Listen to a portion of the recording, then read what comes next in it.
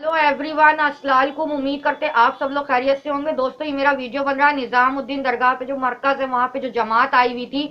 आ, वो लॉकडाउन के चलते वहाँ पे फंस गए थे। और किस तरह से गोदी मीडिया ये बात दिखाकर अंधभक्तों को खुश कर रहा है किस तरह से नरसिंह वानी और अंकुर आर्या वीडियोस बनाकर मुसलमानों को टारगेट कर रहा है? अच्छा एक बात बताओ, सबसे पहली बात ये बताओ कि नरसिंह वानी कितने भड़ुओं की औलाद है। मेरे हिसाब से नरसिंह वानी की माँ ने सौ भड़ुओं से चुदवाया होगा तो नरसिंह वानी जैसा एक इकलौता भड़वा भारत के अंदर पैदा हुआ होगा।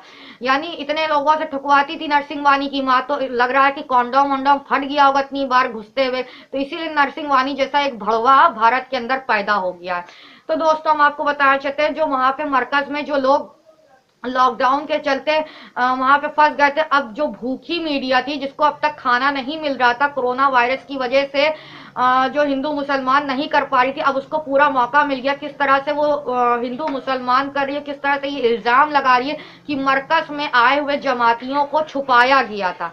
मरकज में आए हुए जमातियों को छुपाया गया था। ये भारत की दलाल मीडिया मोदी की मीडिया बोल रही है।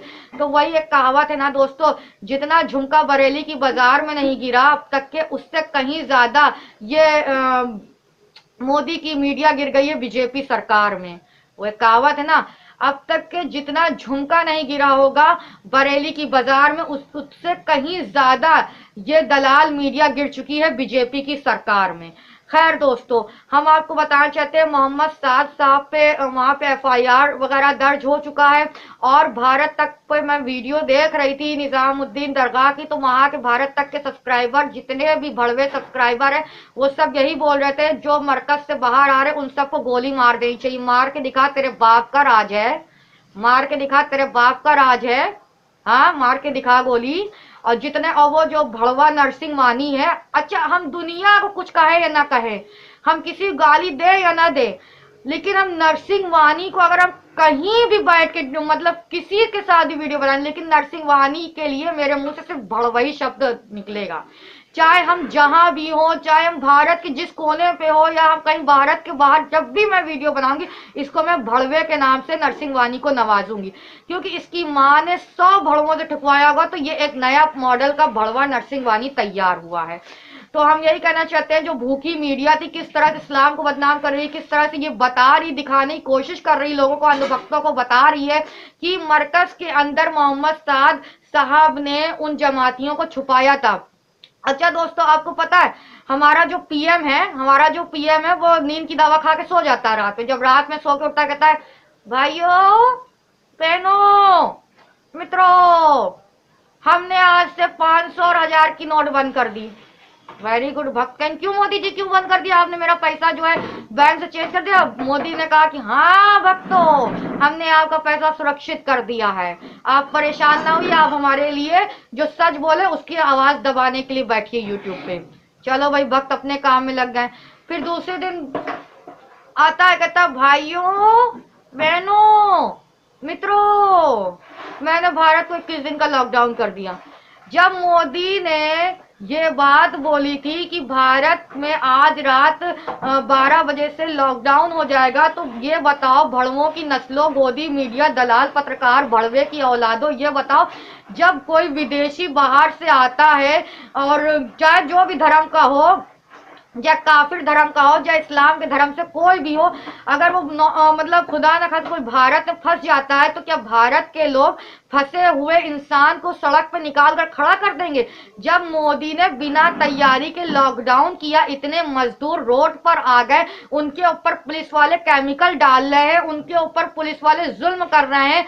जो जरूरतमंद लोग हैं, अगर वो बाहर निकलते हैं, उनके साथ पुलिस वाले बदतमीजी करते हैं, वो तो तुम्हें दिखाई देता नहीं है। लेकिन जब जमात हमारी आई थी या जिस कंट्री से, जो जितने भी मुसलमान आए थे, जब ये बात आई रात की मोदी ने नींद से उठा, बोला, भाइयों, बहनों, मित्रों, बारह बजे से लॉकडाउन हो गया। तो अब ये बताओ लॉकडाउन का ही पालन करे हमारे मौलाना मौलवी और फिर उनपे इल्ज़ाम भी लगे कि वो इंसानों को छुपा के मरकज में रखे थे। वाह भाई वाह वारे मो, मोदी मीडिया वारे बिकाऊ पत्रकार भड़वे पत्रकार कहाँ से कहूँ? अच्छा ये बताओ पत्रकारों तुम लोग ये झूठ कहाँ से सीखते हो? मुझे भी एडमिशन कराओ। ये कहाँ से मक्कारी अयारी छिनालबाजी कौन से इंस्टीट्यूट से तुम लोग ट्रेनिंग लेते हो? मेरा भी करा दो जहाँ जितना भी पैसा खर्चा होगा वादा करते हम फ़ीस भरेंगे। लेकिन प्लीज़ ये छिनाला कहाँ सीखते हो? हमें भी सिखाने ले चलो। मतलब हम हम जो है ना सबके सिवा कुछ बोल नहीं पाते, ये मेरी बहुत बड़ी बीमारी है। और जहाँ पे गलत होता है, लोग हमें, हमारे घर वाले ही मना करते फिर तुमसे क्या मतलब है? मर रहे मरने दो। चाहे मुसलमान ही मर रहा। हो क्योंकि आज मुसलमान मर रहा है, अपनी ही हरकत से भाईचारे की वजह से मर रहा है। मतलब ये छिनालबाजी, कहाँ से सीखते हो मुझे? मेरा भी इंस्टीट्यूट में एडमिशन कराओ। हम भी झूठ सीखना चाहते हैं। हम भी बक्कारी सीखना चाहते हैं। हम भी अयारी सीखना चाहते हैं। हमारा ये एडमिशन कराओ। गोदी मीडिया के दलाल, पत्रकार मेरा एडमिशन कराओ। जब मोदी ने ये बात बोली थी कि 12 बजे रात से लॉकडाउन हो जाएगा, अब मरकज में आए बाहर से लोग, क्या उनको सड़क पर निकाल देते? हैं हाँ मरकज में जो हमारे मौलाना इकराम है, क्या उन सब जो जितने मुसलमान आए थे, उन सबको सड़क पर निकाल। जाओ मोदी ने कहा है कि लॉकडाउन हो गया, तुम सब सड़क पर बैठो। हाँ मोदी ने यह कहा था, जो जहाँ पर है, वो वहीं रुक जाए, क्योंकि कोरोना वायरस बढ़ चुका है और रात 12 बजे से 21 दिन का लॉकडाउन किया जा रहा लॉकडाउन का पालन भी मौलाना इकराम कर रहे थे। उन्होंने जाकर अब पुलिस वालों से ही बोला, यहाँ पे इतने लोग हैं, आप इंतज़ाम करिए, इनको यहाँ से रवाना करें। लेकिन ऐसे कैसे हो सकता था? नजरअंदाज जो किया जा रहा था, क्योंकि मुसलमानों को देशद्रोही साबित किया जा रहा था। कुरान पे उंगलियाँ उठवाई जाती, है ना गोदी मीडिया? मोहम्मद साहब पे उंगलियाँ उठाई जाती। दो चार मुसलमान खरीद के डिबेट्स किया जाता। है अब एक मुसलमान अभी डिबेट कर रहा था, कुरान शरीफ की आयत पढ़ के बता रहा था। तो हम जरा उस आरिफ मोहम्मद से पूछना चाहते जो टीवी पे डिबेट कर रहे थे। जनाब आप हमसे उम्र काफ़ी बड़े होंगे। हाँ ही है मतलब होंगे क्या?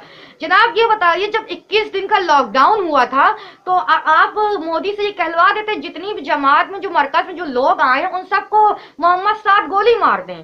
गोली मारे खत्म कर दें। ये आप मोदी अगर बयान कर देते तो मुसलमान बेचारे मेरे छोटे छोटे नोटी नोटी मुसलमान नर्म दिल के मुसलमान नोटी नोटी सबको गोली मार देते जितने भी जमात में आए थे, सबको गोली मार देते है ना? आरिफ मोहम्मद को ये बात कहलवाना चाहिए था मोदी के थ्रू कि मोदी ये कहते हैं, हम इक्कीस दिन का लॉकडाउन कर रहे हैं और जितने भी विदेशी मुसलमान जो भारत में आए निजामुद्दीन दरगाह पे, उनको डायरेक्ट सबको गोली मार के कबर में सुला दो। अब नोटी नोटी मेरे मौलाना जो है, जो भाईचारे का पैगाम दे रहे थे, वो गोली मार देते, फिर वो देशभक्त हो जाते, है ना? है ना आरिफ मोहम्मद जो ये टीवी पे डिबेट कर रहा था इंडिया इंडिया टी, टीवी पे। तो ये बताओ अच्छा एक बात बताओ दलाल मीडिया तुम लोग एक बात ये ये अयारी ये मक्कारी ये छिनालबाजी कहाँ से सीखते हो? वाकई में बहुत अच्छा तुम्हारा टीचर हो जो तुम्हें ट्रेन करता है।